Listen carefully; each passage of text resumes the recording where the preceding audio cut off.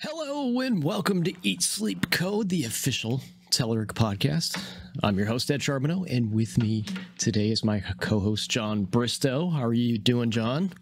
I'm good. It's a little early. I don't know why I didn't start as uh, effectively as I usually do, but I'm uh, got my coffee going, so the caffeine will kick in, and uh, we'll we'll have some a lot of stuff to talk about this week. Actually, so yeah, lots of really cool, interesting things. A lot of security stuff for some reason. Just seems like it happens that way, right? Yeah. Uh, we'll try to tie these together. I, I, did a little loose organization of of some of this stuff to try to get the um, conversation in in order here. So uh, why don't we go ahead and pop a screen share up here and uh, show some of these articles off that we're talking about today. Uh, we got a couple dot .NET things that I wanted to touch base on, and and you as well. So um, first one is uh, .NET Performance delivers again for Bing from .NET 5 to .NET 7.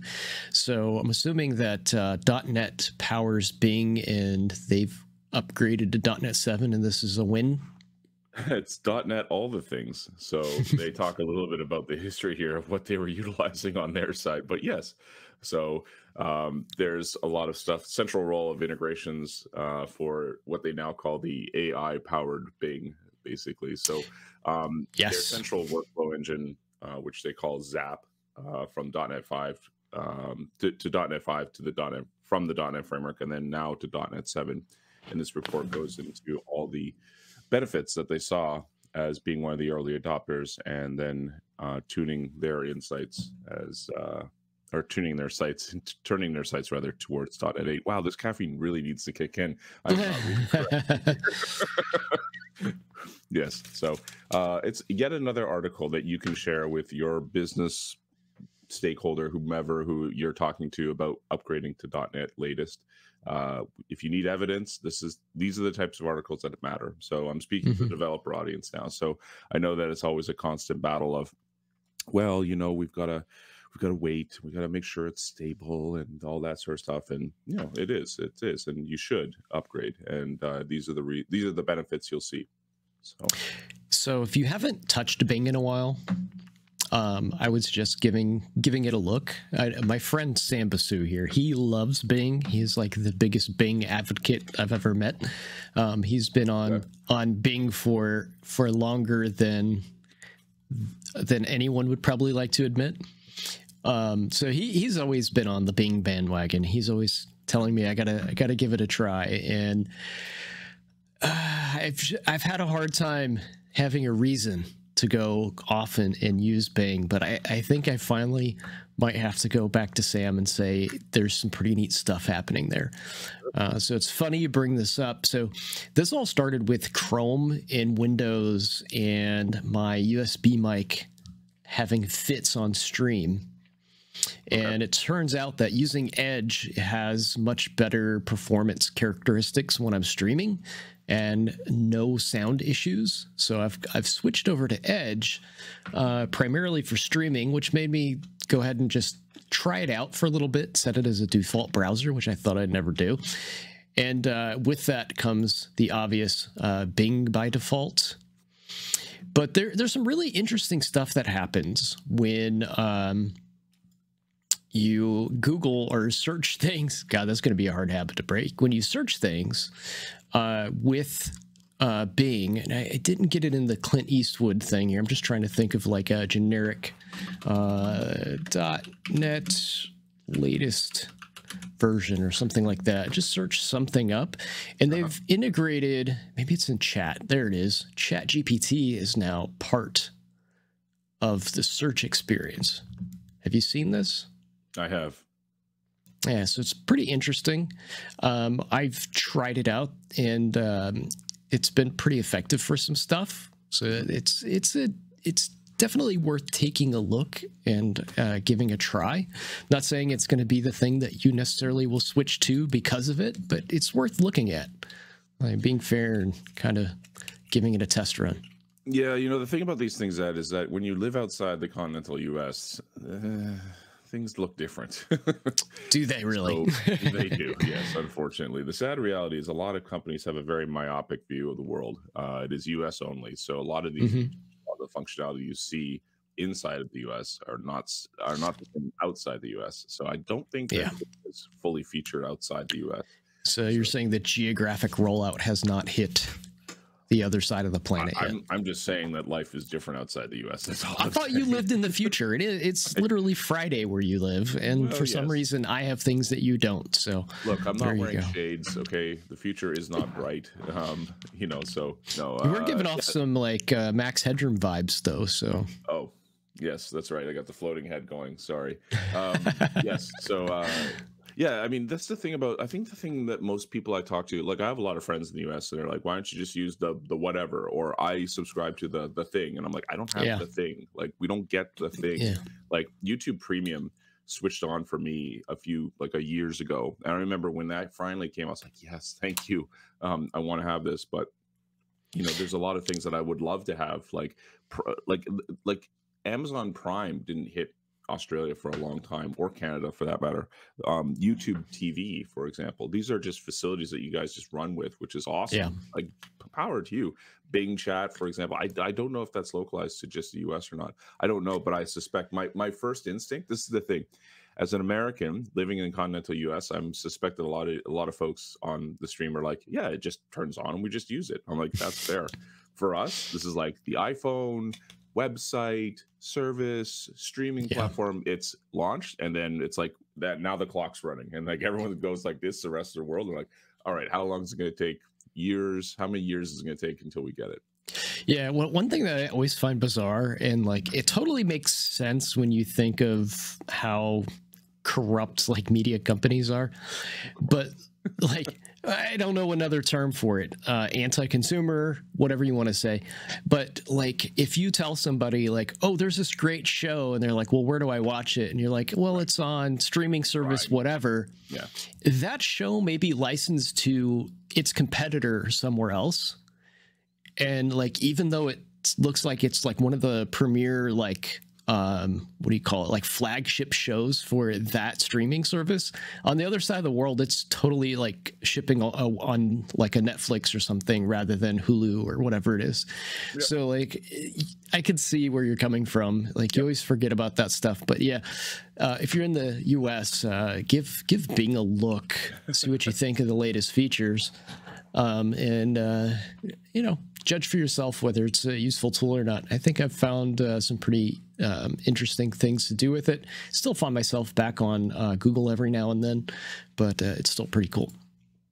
Uh, keeping on with the .NET conversation, John, um, I've been watching .NET uh, ASP.NET 8 being Right. developed, and uh, you can actually do this live and in real time um, just by going to their GitHub page. Like we used to go to the uh, MVP summit every year, which is coming up again for the first time in a long time, and we'd have to sign these NDAs, and we'd get to look at like the latest .NET stuff, and then we'd have to keep hush hush on it until like build or something like that.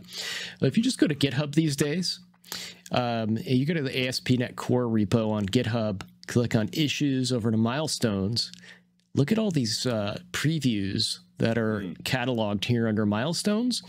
What's really cool is you can go into say like .NET Preview three, and then you can scan through like all of the work items, and uh, there there's some like uh, less impressive things in here, uh, like housekeeping items, but every once in a while you can find let's see if it's in preview four i was looking at some of these and it's like oh here's some blazor features that are coming Ah, nice. that i had no aware of at all uh, one of them was like Forget, uh, the, forget the MVP summit. Just just stick to the GitHub repo. yeah so there there's something in one of these about sections being built into Right. uh, blazor layouts which is something that hadn't been uh, introduced the Blazor before. There's a bunch of Blazor United stuff in here.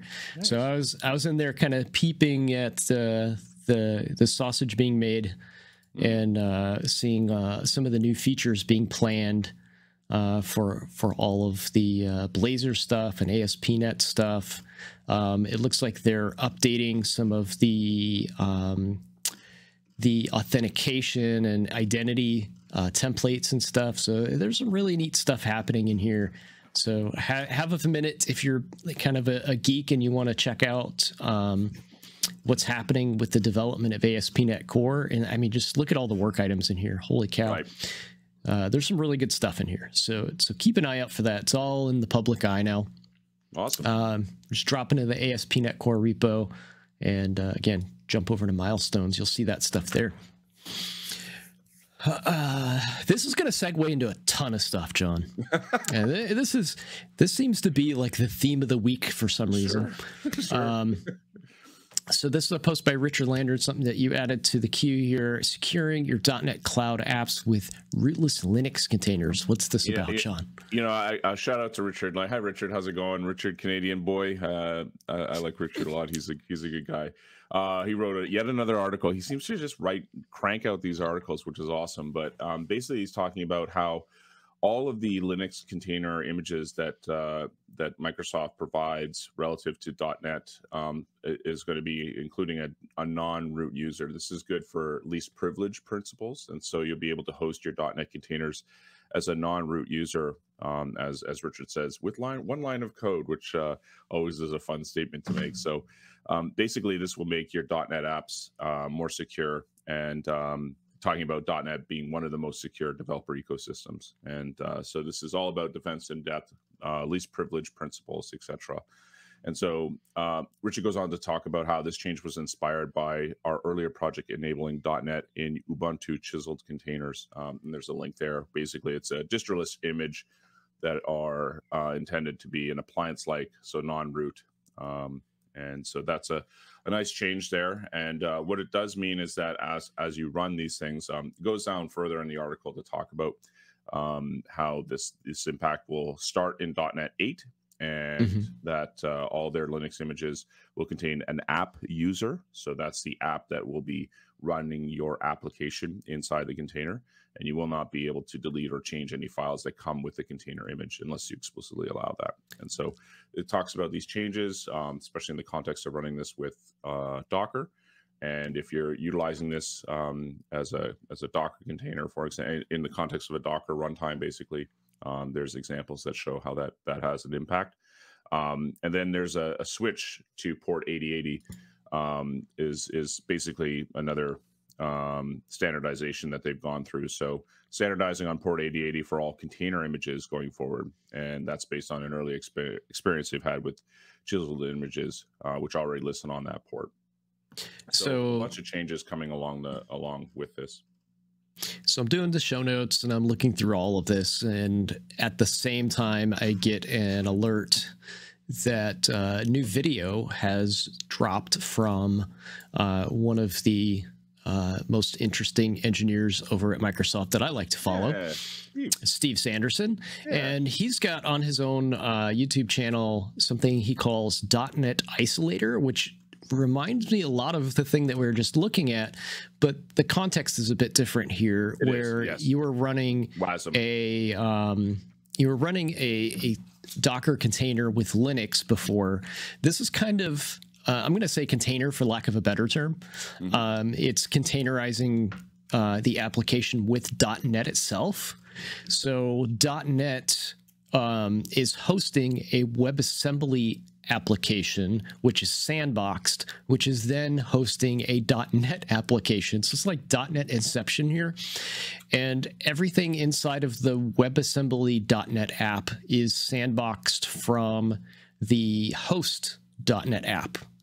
Now I have so, not seen this. I have not seen this video. However, one interesting there's a one right off that graphic. The thing that jumps out at me is look how that that WASM container is drawn. Basically, there's a little indent in there.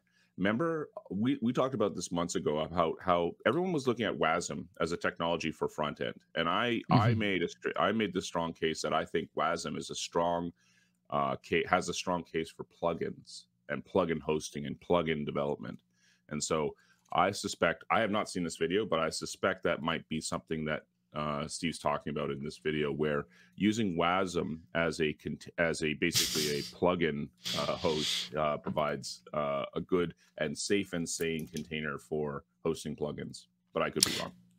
Yeah, he didn't mention plugins in here, uh, mm-hmm. but he is talking about uh, hosting know, one or many .NET apps running inside this isolated container. Uh, so it has like no no way of uh, being uh, kind of you know hacked by the outside world has no communication in or out of that container uh, but it is it's very interesting and uh, currently uh, he's got some demos in here of how to do all of it but uh, let's see if i could scan and find it. Um, it is there it is. It is up on github and it's available as a NuGet package. It's currently experimental. Uh, but give that a look. Go over to his YouTube page and you'll you'll find the video there. You can watch it uh, in uh, completion there, um, and uh, I'll have this up on our um, our links in the uh, what do you call it the the newsletter Show that notes. I've been putting out on LinkedIn. Oh yeah, yeah, yeah. on LinkedIn. Yeah, yeah, yeah. So uh, it's still interesting. Um, yeah, in the context of security and isolating apps and all of that. I mean, like like, like let's just think about this for a second for the longest time people have like anyone building a platform of any salt it basically is going to provide a plug-in architecture because it makes sense to do so the challenge there is how do you secure that thing if you're allowing arbitrary code that hasn't been that hasn't been vouched or or verified mm-hmm. uh, it's a real it's a real nebulous problem now because you're like well what does this code do? What you know, what are what are the expectations around it? How is it? How can I secure this thing? And if you provide a, a containerized, essentially runtime within your own app via WASM, you can now isolate that that run and then just have it talk via message passing. So I think this is fantastic, and it's really going to help uh, with a, It's going to help architecturally speaking for folks wanting to provide this facility within their own apps.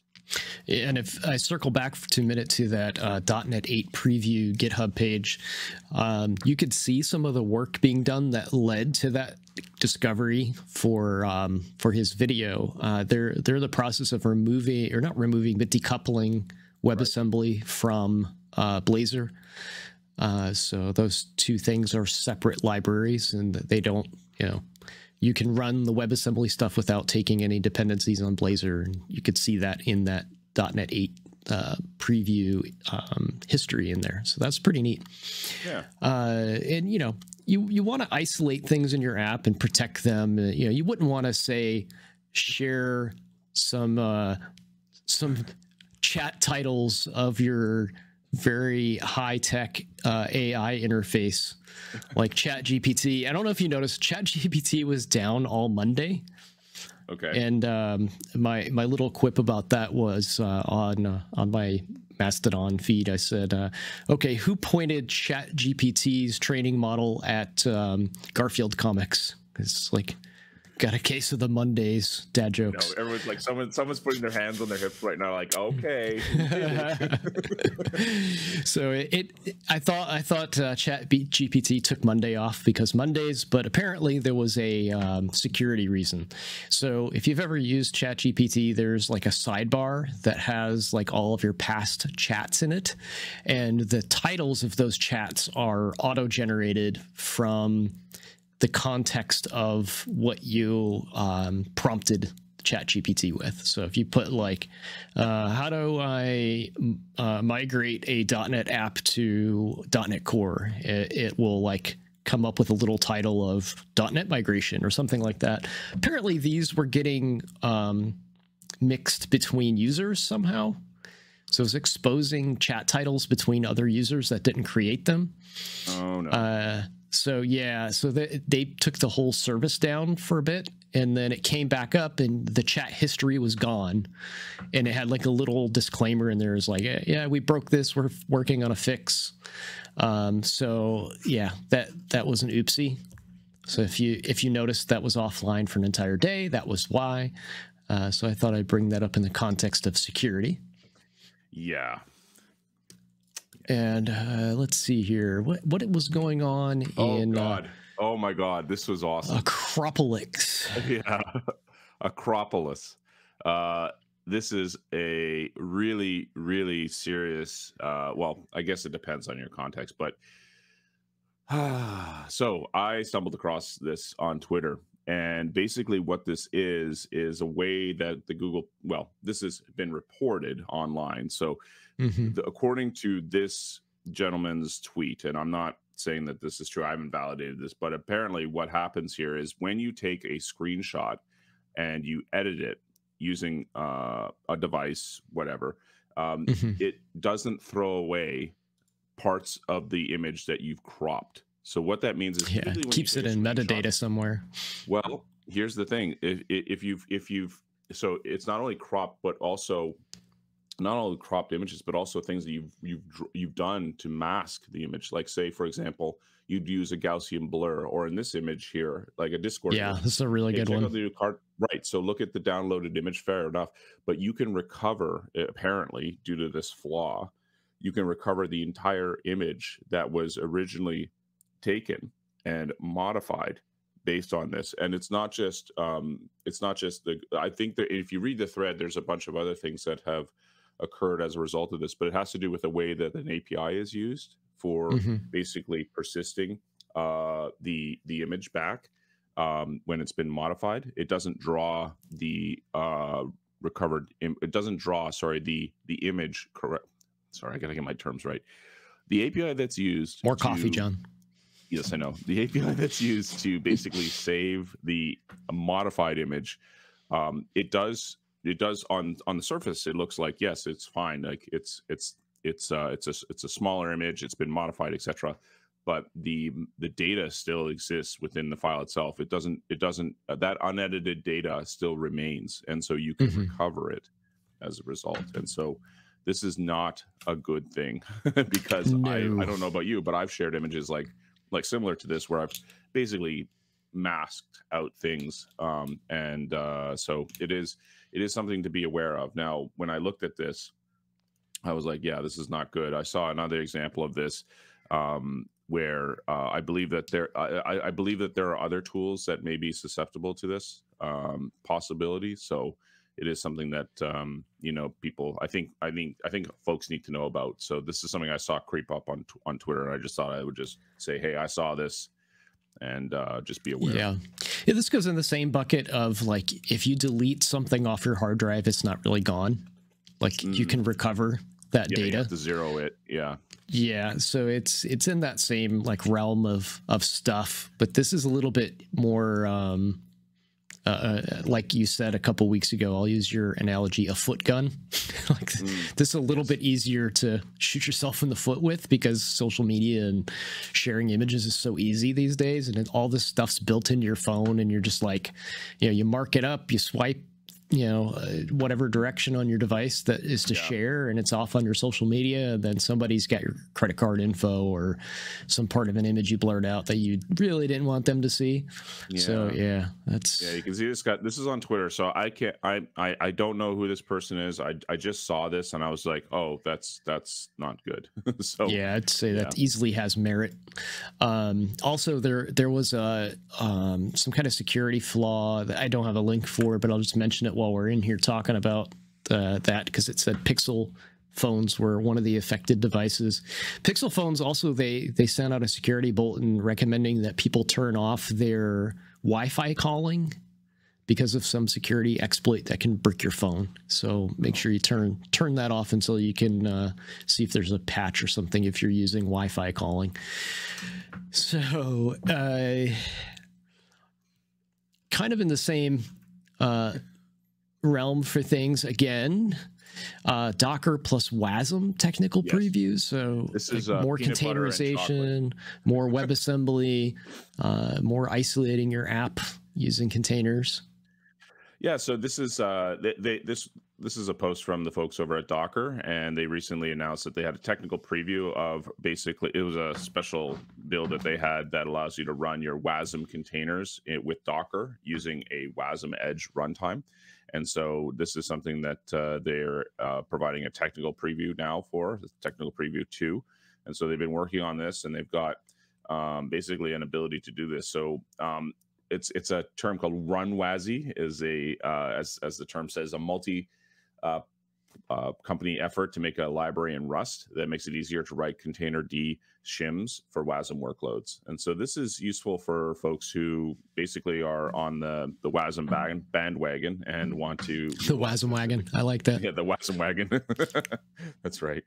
So, um, and they show an example later on in the post talking about how to take it for a spin, uh, utilizing the CLI for Docker, and um, you can download the the basically download the image, uh, which contains your application uh, hosted within WASM, and then um, basically show the the result set of that. And they show it also uh, utilizing um, a WASM workload within uh, Kubernetes. Um, so there's a facility in Docker called Kind, which is stands for Kubernetes in Docker and um, it, you can basically run um, you know that if you want to uh, run your WASM workloads within that context. So it's very much peanut butter and chocolate all mm-hmm. getting mixed up nicely together. So um, I thought this was interesting.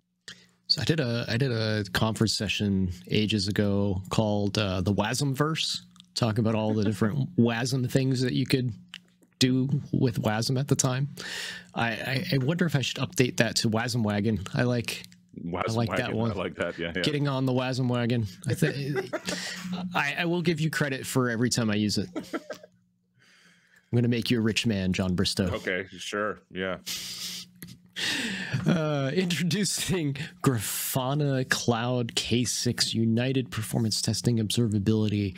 None of those words meant anything to me, John. What what is well, this? Well, they are all English. Come on. So uh, Grafana, I'm, I'm a fan of Grafana. I like what they do. They're a great observability tool, and uh, they basically provide a facility for um, doing great great things around uh, observability. And they've recently talked about a K6 uh, cloud platform. This is a SaaS platform, basically that they provide, um, which is uh, providing uh, the ability to do cross-functional load and performance testing. So I think it was two weeks ago we talked a little bit about how Azure has this facility um, now where you can do load testing within its platform, and so this is similar where for developers, QA, etc.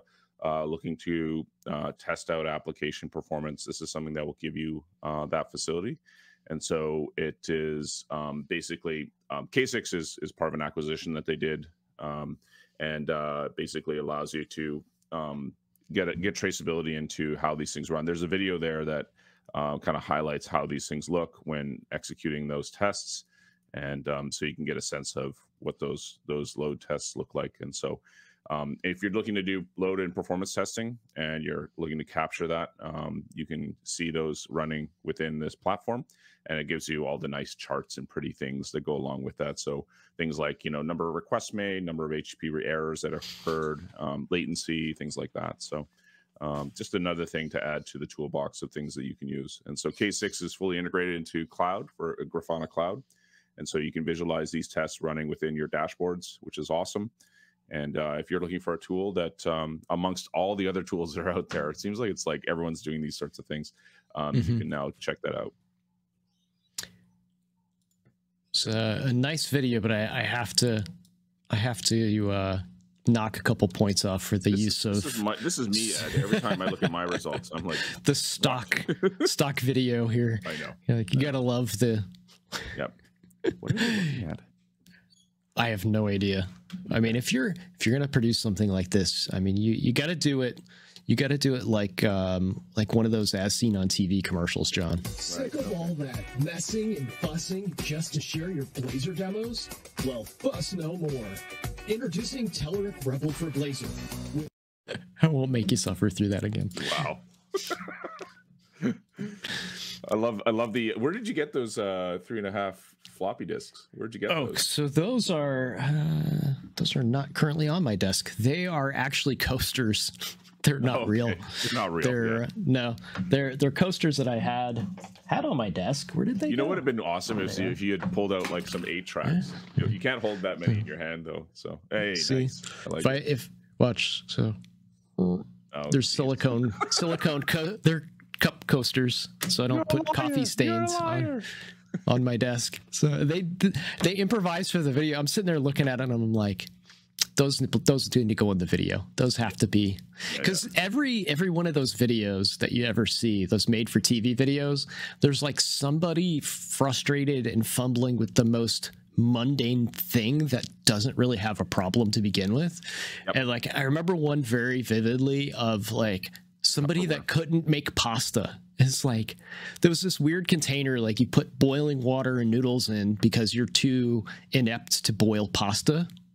And like there's this person like throwing pasta all over themselves at the beginning of this video. I'm like, oh my god. Uh, anyway, uh, Curl celebrating 25 years, John.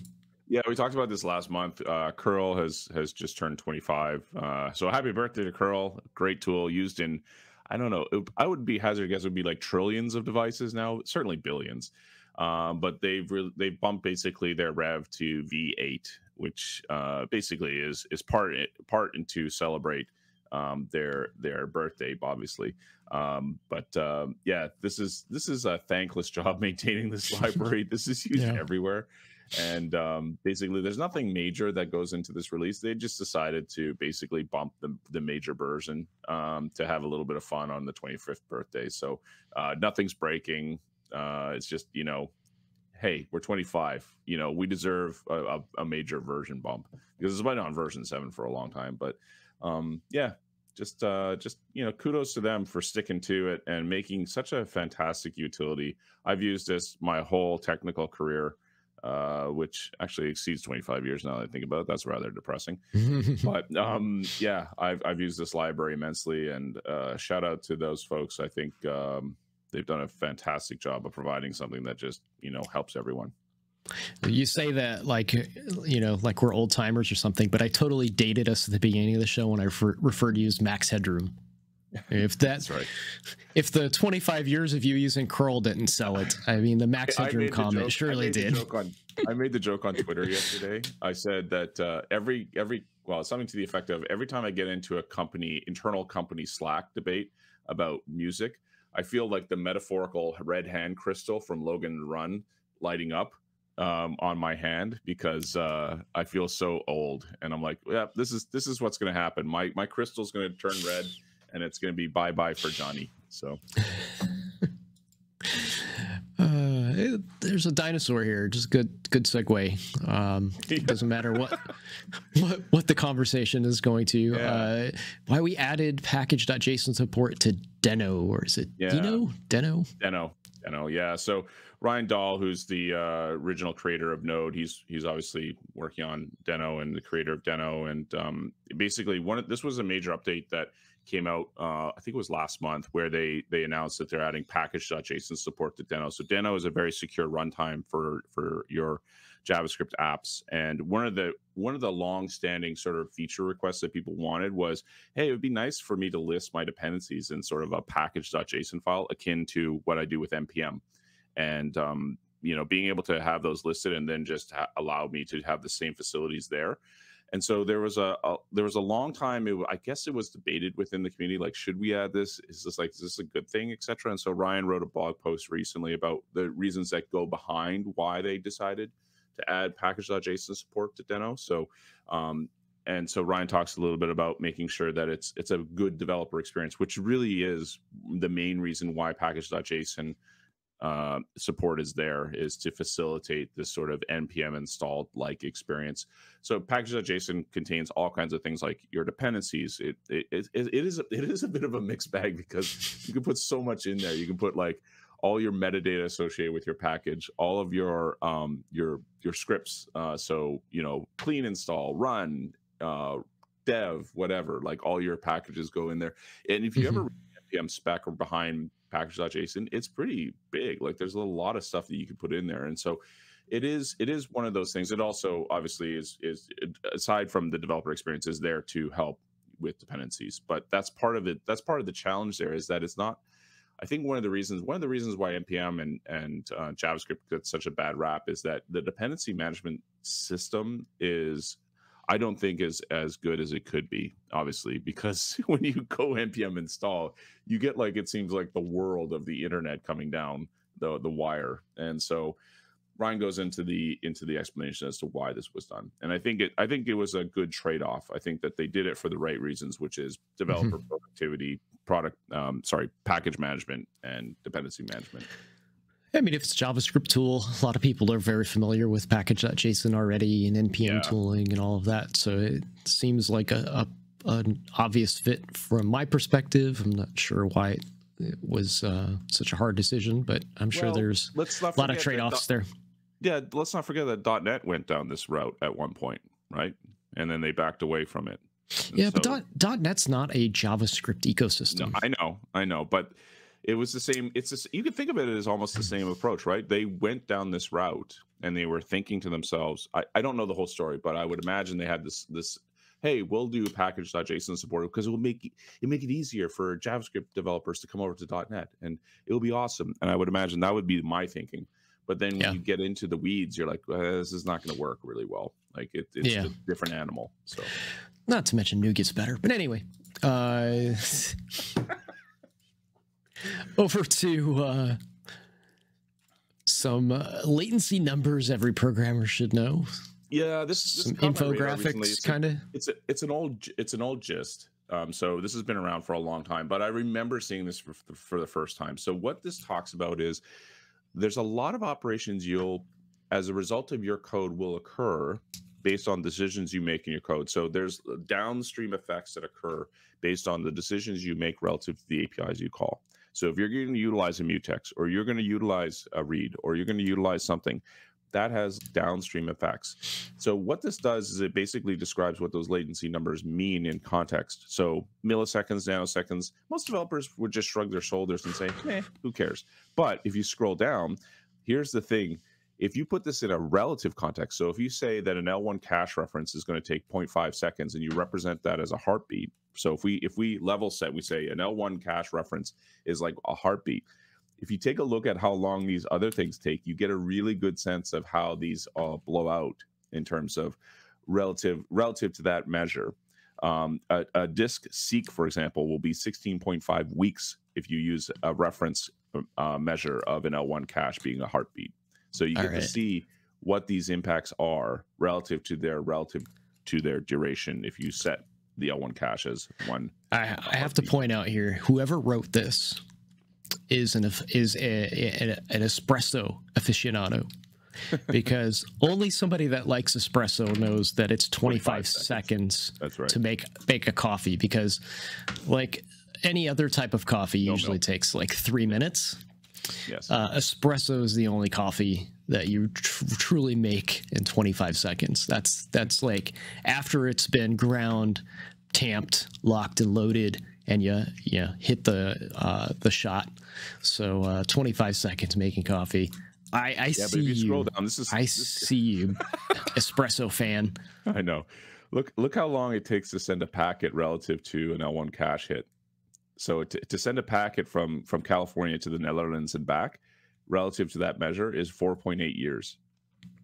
Whoa. So so here's here's my point. A lot of a lot of people a lot of people get hung up on this idea of, hey, it's going to be slow relative to you know Mhm. if, if we do it this way, it's going to be slow. It's going to take more milliseconds. I'm like, okay, fair enough, but you're also hitting the network. Like the network is orders of magnitude greater hit in terms of performance than say doing this operation relative to the local disk, which is sitting right next to your program. So have some context there. Anytime you hit the network, it's like, all right, let's wait. It's like waiting for YouTube uh, Premium to come to Australia. See, we've come full circle. You know, yeah. So it's fun. I actually like is a little bit off topic, but I had this conversation. We'll say, um, it- it's kind of a debate with my daughter's teacher when she was in high school, and uh, I got this call from a, a teacher.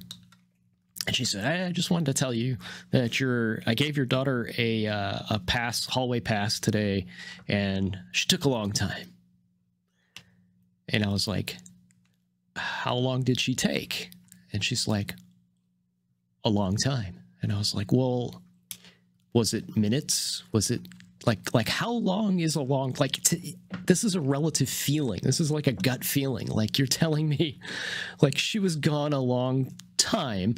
And the reason that actually like stuck in my head is I used to do a lot of like UX work and it was like you talk to somebody about like how does how does the app feel and they're like well it took a long time to do this task you're like, well, what what's a long time? Did it take minutes? Did it take you know four seconds? What's a long time? You know, one long time to one person is not a long time. You know, it's very relative to the other person.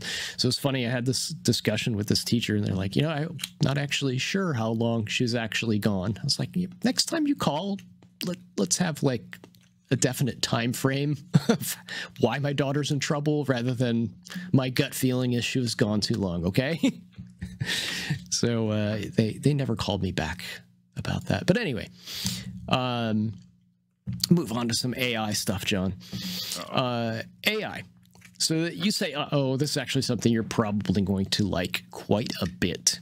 Um, this is uh, this is Mark Rober's uh, YouTube channel. If you're not familiar with Mark Rober, uh, he's a pretty well-known YouTube uh, guy for doing those. Um, what are they called? The porch pirate videos where he glitter bombs porch pirates. Yes. Uh, yes. So Mark Ro- Rober used to be an engineer over at NASA. Um, don't know why he left. I don't know what he's doing these days, uh, but I think he's. Um, I think he actually has his own um, company now. Uh, it's probably linked here where he's selling like these uh, learning tools for people to, you know, young kids and, and people to learn engineering.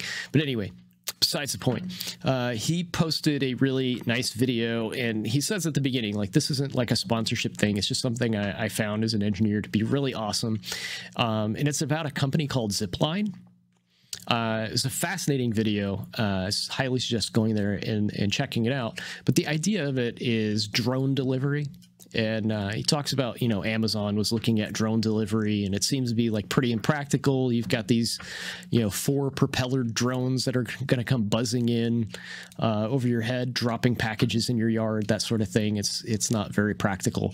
Uh, so he. Uh, highlights this company called Zipline that is in Africa, and they have kind of perfected this drone delivery system. Um, and the idea behind what they're doing is to deliver uh, necessary medical supplies to hospitals that are very Right, far away. okay. F- We do and um, Australia. We do this in Australia. We have we have yeah we have uh, doctors who basically fly out to remote communities and and and provide medical service.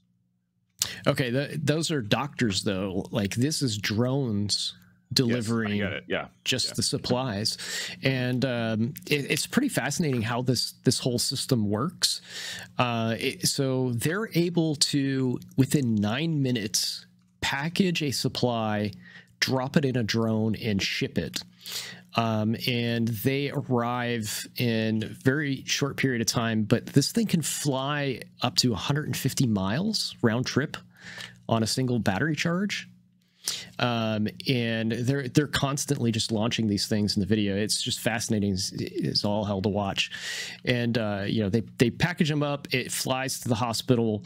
Um, it launches via slingshot to get it to full immediately to full speed. So it goes like zero to sixty miles an hour in an instant. This thing is up and flying. Um, in the video, he takes a car ride uh, to try to see how you know close you know, or how long it takes through like a car. It was like a four-hour drive. This thing was there in minutes. Um, and they've actually cut like infant mortality by like 88% in in that region uh, just because it's able to deliver these supplies to hospitals where they really need them. What's nice about his videos, he's an engineer, so he he talks to the actual guy that created it and all the like prototyping they did. Um, uh, his history, his childhood, and stuff that kind of led him to this moment. So it's a really great video, uh, really inspiring, and also just really neat from a technical perspective because these drones are using AI um, to you know navigate uh, AI and GPS to navigate to where they need to go and to target things and drop packages where they need to be. Um, and then there is kind of a uh, parent company here in the U.S. now that's looking at doing um, larger we'll skip the commercial there, but they're they're doing um, uh, larger, more widespread uh, delivery of commercial stuff. So you may see them um, get contracted out by you know your Amazons and Walmart and stuff to do delivery of just regular goods uh, in the U.S. someday. You were right when you said I would like that video. I did. Thank you. Yeah. I will watch that. It's very, very good, very well done. Um, uh, yeah, big fan of all the stuff that he produces there at, on Mark Rober's channel. Uh, you know, some of it's silly with the Porch Pirates and whatever, but he does a lot of uh, really cool um, stuff with uh, like feel good pieces. You know, he's talking about healthcare here. He's got some where they uh, kind of troll the uh, what do you call it um, scam artists that that call you and tell you your you know your your software's been hacked or whatever, and they actually like shut down a massive call center. Uh, that was harassing a bunch of old people and scamming them out of money. So he's done a lot of good work uh, over on that channel. Speaking of AI, John, GitHub Copilot 10 is this 10? X. Yeah. It is X. Okay. I never no, never know when it's going to be X or 10. Uh, the AI powered developer experience.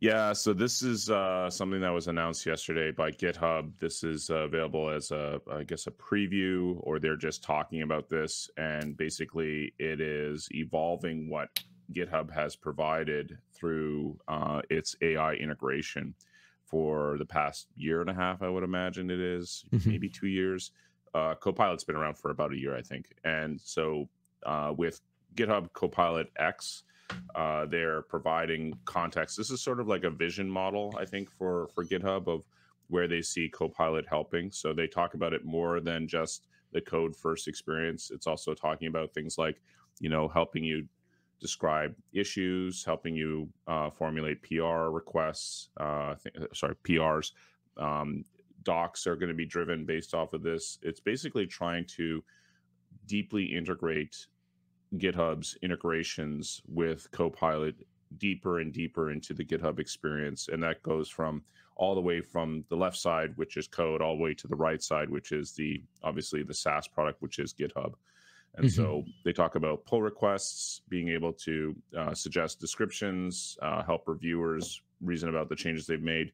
Um, they're looking to integrate it within a CLI. So um, Copilot will help getting getting the right command written for you um, with multi-step shell commands, um, for example. And so you can sign up and and join uh, the co. You can join join Copilot, and then I think the the preview itself.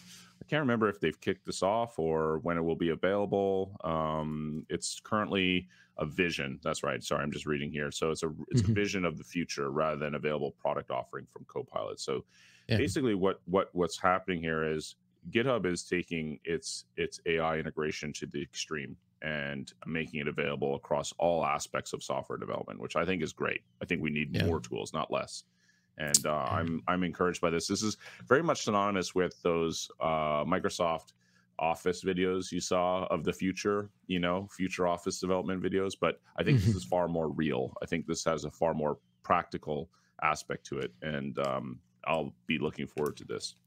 Yeah, this is really interesting. It's it's going to be using Open OpenAI's GPT four model.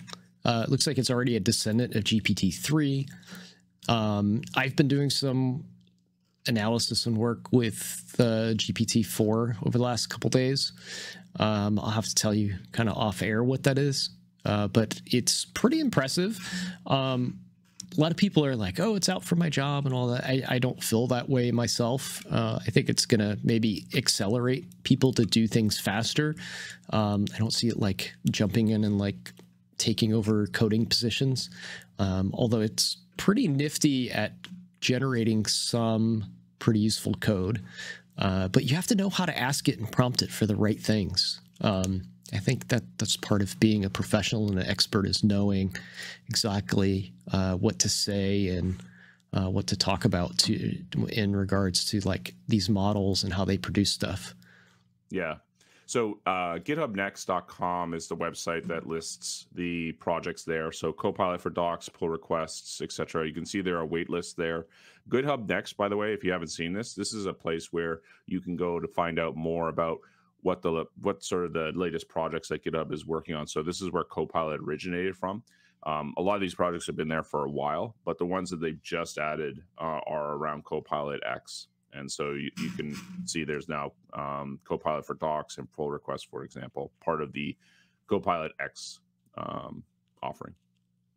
And then this final article, John, is just one of complete fascination. I have no expertise in this field, so not a lot of commentary here from me, other than uh, this is really just kind of geeky neat.